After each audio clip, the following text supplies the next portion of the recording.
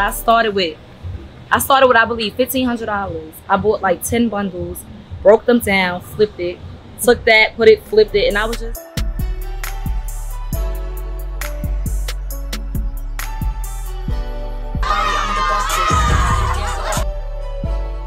Listen, I'm here at the Boss's Mansion. I am one of the hosts today. Um, where I've been doing what I do and had to share pizzas, split slices of pizzas. And my big ass love pizza. and for me to split a slice is OD. Like you a baby. Oh, y'all cut it. Like in we cut it in, we cut it in like, Like we no, not a pie, bitch, a slice. No, y'all cut the slices. Y'all cut We the cut the pie. side. No, no, no, no. Y'all only had one We slice. had one Oh. slice, bitch. If I had a whole pie, I would have ate three slices. I'm telling them I had to bust down one slice with And cheese. share it with other. I had to share it with my homegirl. My homegirl, she, me and her. We sit up here doing videos, trying to go viral, trying to make shit happen. And we was hungry. We grabbed the motherfucking Pepsi, cut that in half, got ice, put it in red water, and then sliced the shit in half. Listen, but we was outside and we was doing what we do. Now I'm proud to say that that struggle turned into me making millions of dollars. Not yet, but at that almost. You almost at that point. I spoke yeah. it into existence. All the shit. I was taking buses. I was calling out of work. I was working. Like I got a whole big story, but regardless of the fact, I took that leap of faith and I quit my job. And I know that's bugged out for some people. Like I was making like almost two hundred thousand a year, really doing what I do, and I quit my job to do comedy full time. And you know, Like comedy do not pay. Straight social media. A comedy does not pay. If you a comedian, that's why I don't really do stand up like that. Yeah. But because because a nigga offered They bring you out and they barely He said, "Stage, I'll give you fifty dollars for." For For a set tonight, Get and I was like, you know what, here. sir? Keep your fucking fifty dollars, cause I eat hundred and twenty dollars on Uber Eats. How am I gonna get something to eat with fifty dollars? I said, I'd rather do it from the passion, from the heart. You understand? On and I gonna talk your ears off about comedy. Like I said, I'm here from a marketing standpoint and just helping you guys propel that. And I'm so great. I'm grateful. I'm blessed to be able to be in that position to do that.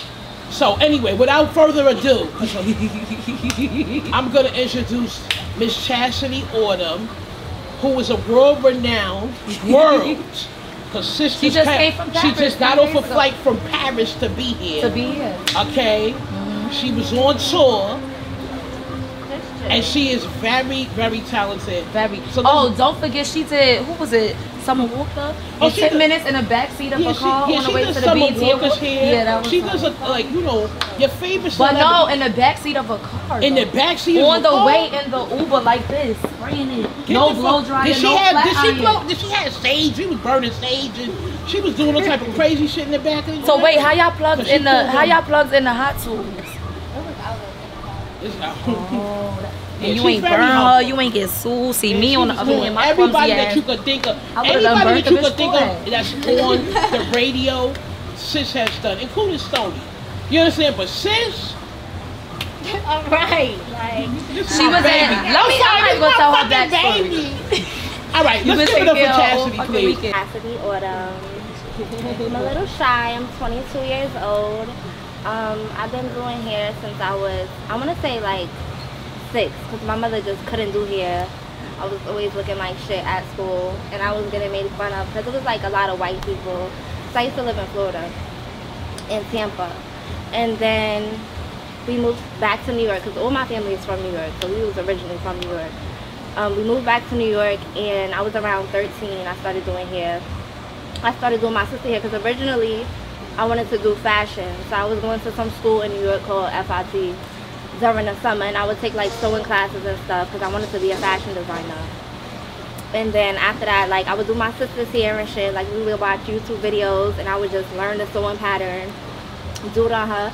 Then her friends started coming to me. I was doing them for free, and then I was like, I was doing a lot of networking. I think the first people that hit me was the Clermont twins. And they was like, do you do hair for promo? So I was like, nah, like I never did that. Like, this is my prices. so I told them my prices. They respected it though. They respected it. They was like, okay, like we got you, like come, like they respect the fact that I was in school. I'm like I'm in school, like I need. So then after that, I'm, I would say a big thing for me was I'm collecting my check because I initially just feel like I spend my bread on what the fuck I like. And when people like it, they're gonna spend that bread. Every person that I have went to to do their hair, they have spent that money. So then after that, um, yeah, I just started doing a lot of trend setting. I did like a baby hair, curl, started a trend or whatever. Um, I started that trend on this girl named Miss Heather Rose because I was doing her hair a lot in Atlanta. And then after that, I, I was Summer Walker's hairstylist for a year. Um, who else did I get to work? I got to work with a lot of people, y'all. Mulatto, Cash flow I was doing Cash flow for a year, BMF. Um, yeah, I did a lot of people. I said like, I probably had like a few friends that was like Instagram influencers. So they had like a little clout on Instagram, and then I started realizing how Instagram was impacting just everybody's career. So I started to try to strive towards that. Then eventually, like just going so hard and not stopping, I end up doing like Alexa Sky. I ended up getting close with the Fab Five, and then just keep pushing and pushing and pushing. 50 with all of that promo, I feel like long as you're going to somebody that you feel like you gotta pay attention to their um target audience. audience. Like audience. me, for example, I do promo for other people. When I do it, it takes the fuck off. Why? Because I have nothing but girls. First of all, 95% of my followers is girls. That's number one. Number two, people know that I'm picky. Like if you know me, I don't play with my hair, my makeup artist, what I wear, what I dress. So if I post something, they already know like I we could trust her because I built that reputation. So just go to people if you are going to promo that you know has fans that actually follow what they do. Like all right, so listen, Sony stepped out. But what we're gonna do is one by one because I know y'all. It's like a dragon, right? All right, cool. All right. my name is Briley, my business name. Um, my leading service is eyelash extensions, but I pretty much can do everything. I'm versatile. I try to learn. I try to have a lot of stuff under my belt, but I primarily do lashes. Um, I would say my biggest, my biggest downfall with myself is like when y'all said y'all gotta pop your shit I be trying to be so humble and I don't be trying to like step on people's toes or make it seem like I'm better than nobody or too good. So I don't really even promote a lot. So mm-hmm. a lot of people be like, yo, you used to pro- promote so much, now you don't. We be forgetting that you do lashes or we thought you moved OT because you always, you only post when you out of town. You don't post when you home. So I felt like I had majority of my city on lock. So it's like if you know, you know. So I so just stopped, I just stopped posting. Yeah. okay, so I'm Tootie. I pretty much do everything. Like I do hair, I've done lashes, I cook, I'm in the fashion. Like I think my biggest problem though is like you were saying, you gotta find a passion for something. I think fashion is my passion, but okay. well, not even think. Fashion is my passion because the bitch puts the shit on. Yeah, mm. let that be known. Yeah. But um, yeah, it's just like me personally. I feel like I don't know how to get into that industry. You know what I'm saying? Like, how do you mm. just jump out there and be like, oh, I'm a wardrobe stylist, and people actually want to book with you? Like, people don't be trying to just look at shit when they be like, oh, you don't got that many followers or you don't got that many likes, and it's like that shit is weak as fuck. But um I'm in the beauty industry. I do permanent makeup, lash extensions, stretch mark camouflage, um, PMU removal. Like if you got your brows done and you don't like how they came out, I can remove it for you and do it over. Um, my biggest issue that I have is just taking a leap of faith and just starting out and building clientele that's my thing. I mean, I did the promo thing, like everyone was saying, like paid a few Instagram, you know, models, did Didn't really work, no. All right, I'm Sin. I'm Sin. My name is Sin Slager on Instagram. Um, I do hair. I do like literally everything. I'm really known for doing braids. I've been braiding since I'm like 14. And then when I was like 17, some girl came from Atlanta and asked me to do a weave, but I didn't know how. But she told me how to do it and I did it by what she told me.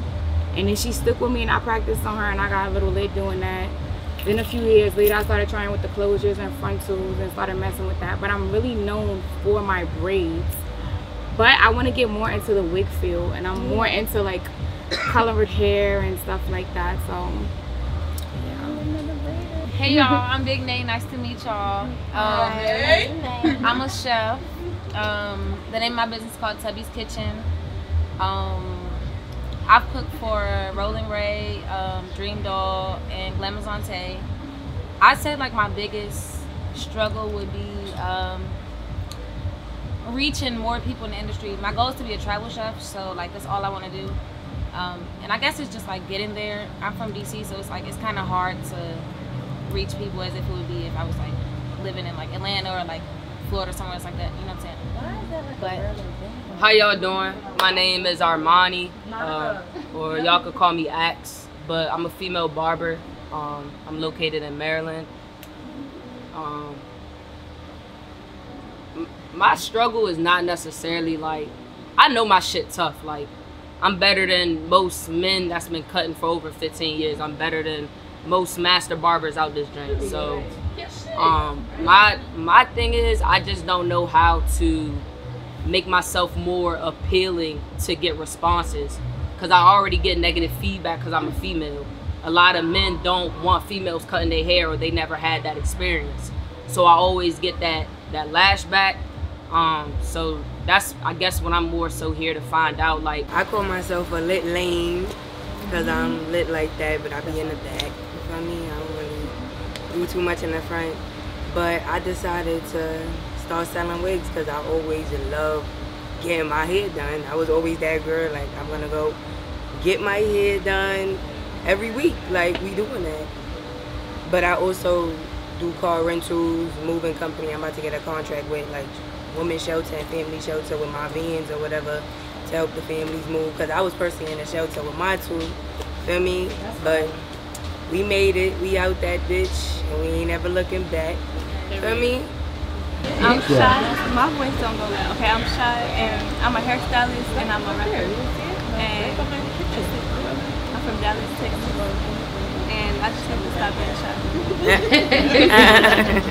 Alright. Hey everybody, I'm Henny. Um, I'm a Brooklyn hairstylist. I've been doing hair for a very, very, very long time. Like I remember I probably was like four years old. It was Christmas and my parents they finally bought my first doll and I was sitting there twisting the doll hair up and my dad he came over, he told me how to braid. So ever since then, like it was up and stuck. Like I just you know, anywhere I would go I'll be playing the hair. My godmom she had a shop. So I was there after school and stuff like that, helping her out. I'm I'm like new, like I'm trying to start a business. I want to start like waxing, and I'm like trying to get in the cannabis industry. Into what? The cannabis industry. Oh, weed. Mhm. Like I'm currently in a program like the You wanna minor. get your own strain. No, like the cultivation. Like I want to make people their own strains, or like I want to do like weed and meditation Mm. You wanna be classes. So I'm Mo, the CEO. Okay. Um, thank you. Um, I'm a hearing specialist first, and then um, I'm a wig specialist second. I hearing hear you. specialist? You need to come for a test. I need to come for a test. Yeah. I can't hear shit. Yeah, I'm a hearing specialist first, um, and then I'm a wig specialist second. Um, I have a business degree. Uh, I am licensed, um, and I like doing wigs. I do like sew-ins too, but I really like wigs because I mean I don't really have to deal with too much. Mm-hmm. It's very easy. I do it how I like. You say you like it, I like it. Boom. And so Well, hi, my name is Destiny. I'm also the owner of Overly Obsessed Cosmetics. For now, I'm just selling lashes. My goal is to sell things that, you know, females just love to obsess over. As soon as you put it on, you're just like, oh my god, like I love this, I need to get more, you know, like your next addiction. That's like my overall goal. Um, as for myself, I am also a part-time cosmetology student. I am trying to get my license. I also do makeup. um, I'm big on makeup. I'm like a beauty influencer as well. The reason why I started my business is because I'm always helping out other small businesses and getting them their products out there as well. And people are like, yo, I'm always buying products from other people, and the way that you promote them, you go so hard. You need to promote yourself more. So I was like, you know what? You're right. So I just took a shot on myself. Started my business back in December on my birthday, and it's just been what it's been. So I'm Kayla, um, known as Ace of Lengths. Um, I have a hair studio in Brooklyn.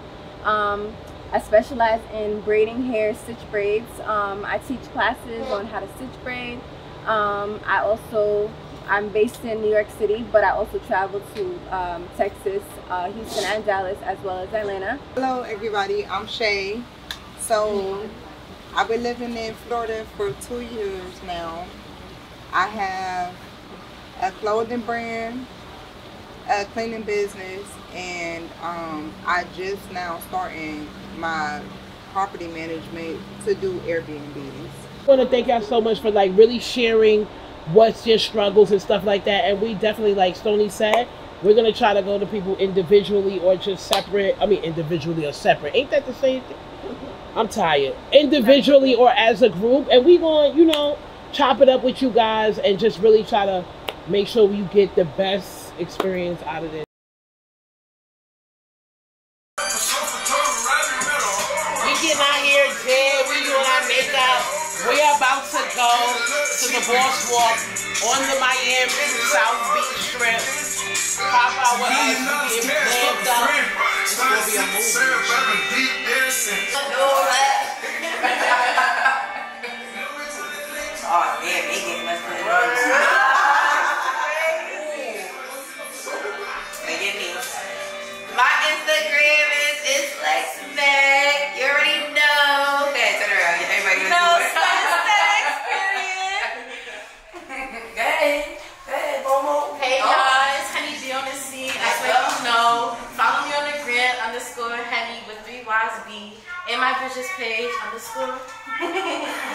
Slay. Period. Hey y'all. it's Mo the CEO. Make sure y'all tap in with me. Three underscores sincerely that Mo. S I N C R L Y Y that Mo. Or 127 Beauty. T W E L V E 7 S E B Y N Beauty. Period.